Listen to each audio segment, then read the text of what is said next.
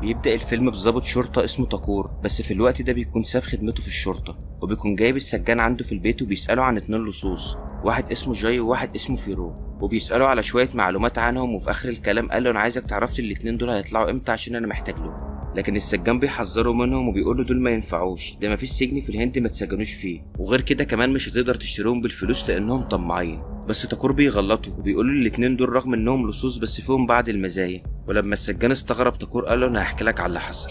قبل ما يدخلوا السجن الاتنين دول أنا اللي قبضت عليهم وخدتهم في القطر عشان أرحلهم للسجن. وفي وسط الطريق اتعرضنا لقطاع طرق كانوا عايزين يسرقوا البضاعة اللي في القطر وقتلوا كل العساكر اللي معايا وبقيت لوحدي. بعدها طلبوا مني أفتح لهم الكلبشات في مقابل إنهم يساعدوني في قتل قطاع الطرق. وضربت رصاصة في الكلبشات وحذرتهم ان هقتلهم لو حاولوا يهربوا. وبدأوا فعلا يساعدوني في قتلهم وكان عددهم كبير جدا لحد ما قدروا يبعدوهم عن القطر. لكن في الوقت ده خدت رصاصة ووقعت وما كنتش أقدر أمنعهم إنهم يهربوا. وكان قدامهم حل من الاتنين لا إما يهربوا ويسيبونا موت لا إما يفضلوا معايا ويعالجوني ويدخلوا السجن.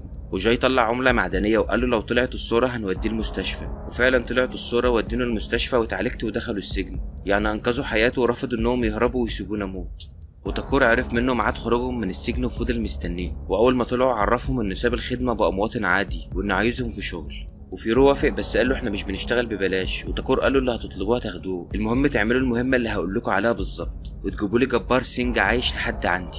وفيرو اتخض أول ما سمع اسم جبار لأنه مجرم خطير جدا ومجنون وأسهل حاجة عنده القتل. وقال له دي الشرطة نفسها عاملة مكافأة خمسين ألف روبية للي يجيبه حي أو ميت. وتاكور قال لهم أنا هديكوا سبعين ألف روبية بشرط إنك تجيبوه حي مش ميت. وكان باين على تاكور من كلامه الغل والانتقام منه. ولما جاي حاول يسأل تاكور إيه سبب العداوة اللي بينكم تاكور صده وقال له ما تسألش. وادالهم 5000 روبية مقدم وقال لهم لما تيجوا لي القرية هتاخدوا زيهم والباقي بعد ما تجيبوهولي وجاي طلع العملة تاني على أساس يعرفوا هيوافقوا بالمهمة ولا هيرفضوها. وقال لفيرو لو طلعت الصورة هنوافق وفعلا طلعت الصورة. وراحوا له القرية ودخلوا بيته وادالهم ال 5000 روبية التانية. وفتح الخزنة قدامهم وشافوها وهي مليانة بالفلوس والذهب. وفكرهم بالمهمة تاني إنهم يجيبوا له جبار سينج عايش مش ميت. بس برضه داء السرقة كان لسه جواهم والشيطان لعب في دماغهم إنهم يسرقوا الخزنة ويهربوا. وأول ما دخلوا المكان اللي هيرتاحوا فيه طلع عليهم ناس كتيرة وفضلوا يضربوا فيهم وكسروا عليهم البيت لحد ما ضربوهم كلهم. ولما سألوا تاكور مين دول تاكور قال لهم أنا اللي جايبهم عشان كنت عايز أطمن على شجاعتكم وأشوفكم بنفس المستوى اللي شفتكوا بيه قبل ما تدخلوا السجن ولا لأ. ولما مشي فيرو قال له غلطتك الوحيدة يا تاكور إنك فتحت الخزنة قدام اتنين لصوص. وأول ما الليل جه راحوا للخزنة عشان يسرقوها واتفاجئوا بواحدة اسمها رادها بنت أخو تاكور ولما شافتهم هم عايزين يفتحوا الخزنة ادت لهم المفاتيح وقالت لهم الخزنة فيها الدهب بتاعي اسرقوه مع الفلوس. لأن مفيش أرملة هيجيلها نفس أصلا إنها تلبس دهب بس اللي أنتوا بتعملوه ده هيدمر تاكور لأنه كان عنده أمل كبير قوي إنكم تنتقموا له من جبار. وسابتهم ومشيت. وتاني يوم جاي راح لها وادالها المفاتيح واعتذر لها على اللي حصل ووعدها إنه مش هيتكرر تاني. وأهل القرية وهم بيشتغلوا سمعوا عساكر جبار وهم جايين عشان ياخدوا الاتاوه وهربوا كلهم.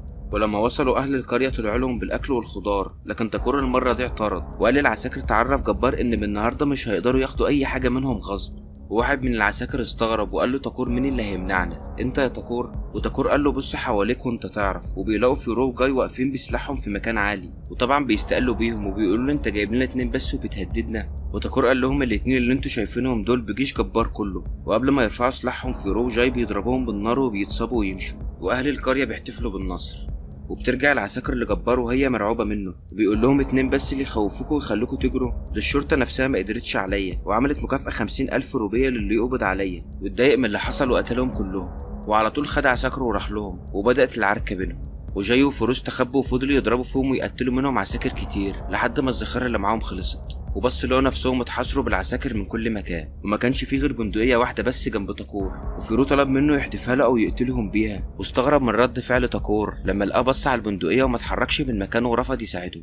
ومسكوا جاي وسأله عن زميله اللي معاه. ولما فيرو ما طلعش قال له لو ما طلعتش أنا هقتل صاحبك. وبيضرب رصاصة جنبه وفيرو بيخاف عليه وبيطلع. وجبار بيبص لتاكور وبيضحك. وتاكور كان هيموت من الغضب. وبينزل جبار من على الحصان وبيقول لهم تعالوا اركعوا على الأرض وبوسوا رجلي وترجوني ان ما اقتلكمش وتاكور كان خايف إنهم يوافقوا وجاي بيتحرك علشان يروح له وفيرو بيمنعه ولما بيقرب منه بيرمي عليه تراب وبيجي في عينه وبيجروا بعيد وبيفضلوا يقتلوا في العساكر تاني. وجاي بيلاقي رشاش وقع منهم وبياخده وبيقتل فيهم وبيكون أسهل وأسرع في القتل. وجبار بيقع وبيقول للعساكر إنهم يهربوا وبياخدوه ويمشوا. وفيرو بيروح لتاكور وهو متضايق وبيقول له أنت جبان. أنا طلبت منك المساعدة وأنت رفضت. والبندقية كانت جنبك وكان سهل عليك تحدفها لي. ومن النهارده تعمل حسابك إننا مش هنحارب جبار تاني وتدينا فلوسنا عشان نمشي. وتاكور قال لهم لو عايزين تمشوا امشوا لكن أنا ما أقدرش أشيل سلاح قدام جبار. وفيرو قال له تاني لانك جبان وضعيف. وكانت الصدمة ليهم لما الشال اللي على تاكور طار ووقع. وشافوا دراعاته الاتنين وهم مقطوعين وكانوا ظالمينه وابتدى يحكي لهم على اللي حصل لما كان لسه شرطه كان بيطارد الجبار وقدروا إنه يقبض عليه. وسلموا له المحاكمة واتحكم عليه بعشرين سنة. وقبل ترحيله للسجن هدد تاكور إنه هيقتله. وتاكور قال له أنت هتتسجن عشرين سنة. تفتكر إنك لو فضلت عايش لحد ما تطلع هتقدر تقتلني؟ وجبار قال له مفيش سجن جدرانه قوية تقدر تمنع جبار من الهرب ولما اطلع هندمك على اللي انت عملته معايا. وبتعدي السنين وجبار فعلا بيقدر يهرب من السجن وبيروح لحد عيلة تاكور وبيقتلها كلها حتى الأطفال ما رحمهاش. وتاكورو وهو راجع من شغله بيشوف أهل القرية وهم واقفين وبيعرف إن في مصيبة كبيرة. واتصدم لما لقى المصيبة تخصه هو وشاف عيلته كلها وهي جثث ومترصصة جنب بعضها. وطبعا ما كانش شايف قدامه غير الانتقام وخد حسانه وراح لجبار وكان سأل عليهم إنهم يمسكوه. وجبار قال له أنا قتلت كل عيلتك وعشان أعذبك مش هقتلك وأسيبك عايش. بس عشان يكون مطمن إنه مش هيقدر يشيل سلاح تاني قطع إيديه الاتنين. وجاي وفروح حسوا بالندم لأنهم اتهموه بالجبن وظلموه. وتاني يوم راحوا له وادوا الفلوس اللي كانوا واخدينها منه. وفيرو قال له إحنا مش بس بنشتغل علشان الفلوس. وتاكورو استغرب وقال له بس ده ما كانش كلامكم في الأول. وجاي قال له إحنا مش هناخد أي فلوس غير بعد ما نقتل جبار. وتاكورو اتعصب جدا وقال لهم أنا مش عايزكم تقتلوه. اتفاقي معاكم إنكم تجيبوه له حي وأنا اللي هشفي غليلي فيه. وبالرغم إن الموضوع كان صعب بالنسبة لهم بس وعدوه إن هم هيجيبوه له حي. وفيرو جاي كان لازم يردوا على جبار رد سريع بعد ما عرفوا اللي حصل لتاكور بسببه. وراحوا له وفجروا المكان لكن جاي بيتصاب كتفه وبيمشوا وبيرجعوا القرية. وأول ما رضها بتشوفه وهو مصاب بتخاف وبتجري عليه. وتاكور بيشوفها وهي ملهوفة عليه وبيعرف إنها بتحبه. بعدها واحد صغير من أهل القرية بيتوه وبيقرب من مكان جبار والحراس بيشوفوه وبيقتلوه وبيبعتوا لتاكور بالحصان بتاعه بيكون معاه ورقة مكتوبة من جبار وبيقول له فيها عرف أهل القرية إن أي حد هيقف في صفك هيكون مصيره الموت ولو ما سلمتنيش جاي وفيرو بكرة هقتل كل أهل القرية. والناس بتخاف وبتطلب من تاكور يسمع كلام جبار عشان محدش منهم يتأذي لكن طبعا تاكور بيرفض وبيوعدهم إن جبار هيموت على إيده. وعلى طول بيعملوا خطة للانتقام وبيناموا كأن أهل القرية قتلوهم وبيعملوا نفسهم ميتين. وعساكر جبار بتعدي من جنبهم وبيلاقوا معاهم ورقة مكتوب فيها قدام كل واحد هيموت من أهل القرية هيموت أربعة من رجال الجبار. وفعلا بيقتلوا أربعة منهم وبيسيبوا واحد بس عشان يروح لجبار. ولما رجع له جبار شاف الورقة واتضايق وقال للجيش بتاعه يستعد للهجوم.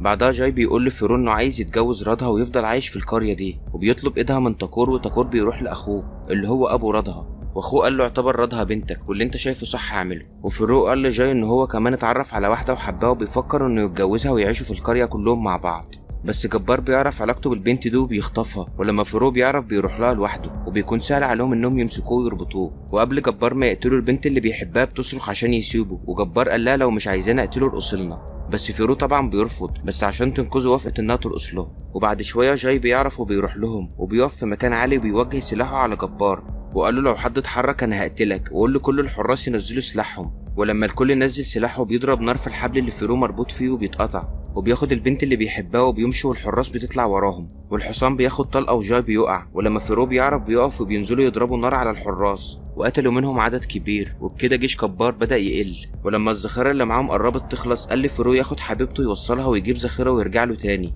لكن فيرو كان خايف عليه وقال له خدها وامشي انت وأنا هفضل مستنيك. وكالعادة جاي بيطلع العملة المعدنية اللي معاه وقال له لو جت على الصورة هتمشي انت.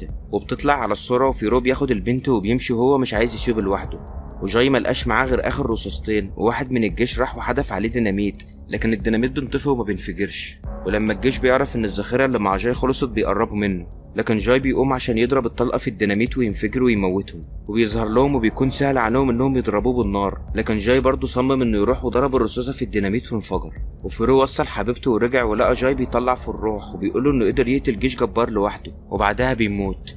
وفيرو ما كانش قادر يصدق إن صديق عمره سابه ومات وبياخد العملة من إيده وبيلاقي العملة عليها صورتين من ناحيتين. وعرف إنه ضحى بحياته لما قال له ياخد حبيبته ويمشي وقعد هو. ووعده إنه هيقتل جبار لوحده وأي حد باقي من الجيش بتاعه. وبياخد حصانه وبيروح له وبيقتل الكام واحد اللي باقيين من جيش جبار. وبيوصل لجبار وبيقول له يطلع له وبيكون مستخبي مع آخر اتنين من حراسه. وبيضرب الأول والتاني بياخد الرصاص مكانه. وكده جبار بقى لوحده. وبتبتدي العركة بينهم وبيفضلوا يضربوا في بعض لحد ما جبار بيقع وبيبقى سهل قتله. لكن تاكور بيجوا وبيفكروا بوعده جاي ليه؟ إن محدش هيقتل جبار غيره. وفيرو وافق احتراما لصاحبه. وجبار اطمن شوية لأنه كان مفكر إن تاكور مش هيقدر عليه لأن دراعاته الاتنين مقطوعين. وتاكور نط عليه وضربه وبيقوم وبيكمل ضرب فيه وبيدوس على دراعه برجله على صخرة وبيكسره. وجبار بيفضل يضرب فيه شوية بدراع واحد لحد ما بيقع وبيعمل نفس الحركة وبيدوس على دراعه التاني وبيكسره. وكده الاتنين بقوا متساويين. وأهل القرية كلهم بيجوا بيبص له بانتقام وبيروح يكمل عليه. وقبل ما يدوس على دماغه برجله ويقتله بتيجي الشرطة وبتقول له إنه يسلمه للعدالة وهي هتجيب له حقه لكن تاكور بيرفض في الأول وبيقول لهم العدالة ما جابتش حق. عيلة اللي جبار قتلهم بدم بارد. والشرطي قال له سلمه لي وهو هيتحاكم ويتعدم وتاخد حقك بالقانون. وفكر تاكور لما كان لسه شرطي وكان مثالهم الأعلى. وتاكور بيوافق وبيسلمه لهم وبيرجع للقرية. وبيولعوا في جثة جاي وفيرو ما كانش عارف إزاي هيعيش من غير صاحبه. وبعدها تاكور بيودعه بيشكره على اللي عمله عشانه. ولما بيدخل بيلاقي البنت اللي بيحبها مستنياه وبتقوله إنها هتروح معاه وتتجوزه وإنها هتقدر تنسيه حزنه على صاحبه يا ريت لو عجبك الفيديو تحط like ولو أول مرة تتابعني تشترك في القناة وتفعل زر الجرس عشان يجيلك إشعار بأي فيديو جديد هنزله. وما تنسوش تعملوا follow للانستجرام و like لصفحتي على الفيس وتشتركوا في قناتي على تليجرام. يلا سلام.